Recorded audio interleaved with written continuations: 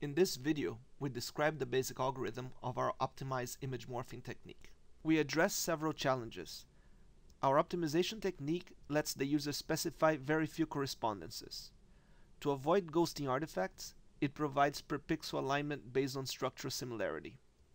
To avoid boundary artifacts during morphing, it ensures that the entire rectangular domain of the image is well defined. Finally, it enables the user to interactively and effectively control the appearance of the morph. Traditional approaches construct a map from one image to the other, but this leaves the occluded regions undefined. Due to this asymmetry, a reverse map is often necessary, but maintaining consistency requires expensive bookkeeping. We introduce a simpler approach, the halfway parametrization. The idea is to define a vector field V over a domain that is intermediate between the two images. Thus, the intermediate image is parametrized by a single continuous function. We minimize an energy function consisting of three terms, structural similarity between the images, smoothness of the mapping, and deviation from user-specified correspondence terms. We will briefly introduce these terms. For details, please refer to the paper. The similarity energy attempts to match pixel neighborhoods of each halfway image pixel in the two deformed input images. We use a modified structural similarity energy to match regions with similar edge structure, such as the object boundaries in this circle to star example. The UI energy term ensures that user-specified correspondence points are matched. In this example, the center of the circle is mapped to the center of the star, as specified by the red correspondence point. Away from any constraints, the smoothness energy term ensures that the resulting vector field favors affine functions in the mappings to both left and right images.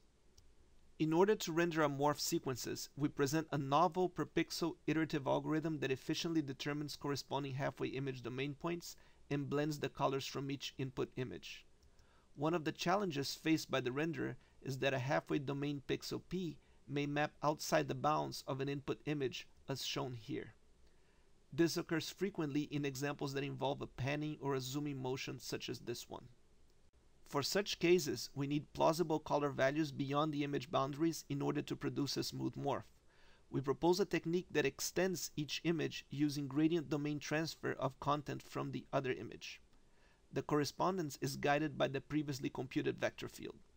In this zooming example, the right image can retrieve the two towers beyond its boundary by taking advantage of its computed correspondence to the left image. To rasterize intermediate images, a common approach is to render a triangle mesh that is deformed using the vector field.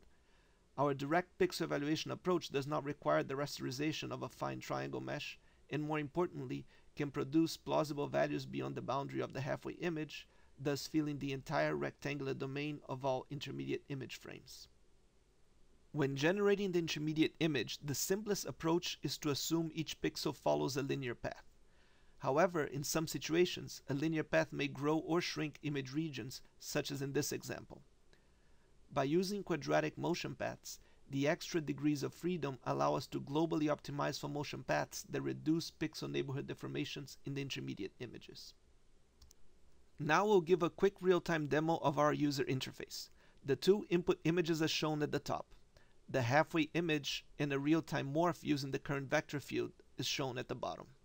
The system automatically recomputes the map every time the user adds, modifies, or deletes a correspondence point. Here we first add a correspondence point to better align one of the eyes. We can enter this correspondence point directly on the halfway image where the artifacts of using the current map are noticeable. The vector field is quickly reoptimized considering this correspondence point. Then we only need one final correspondence point to better align the face, in this case, we further fine-tune the position of the correspondence point in the two input images. The vector field is optimized again, and this is the resulting morph. For further details on the user interface, please refer to the paper. To see detailed animated versions of our morphs and extensions, please refer to our results video in the supplemental material. Thank you for your attention.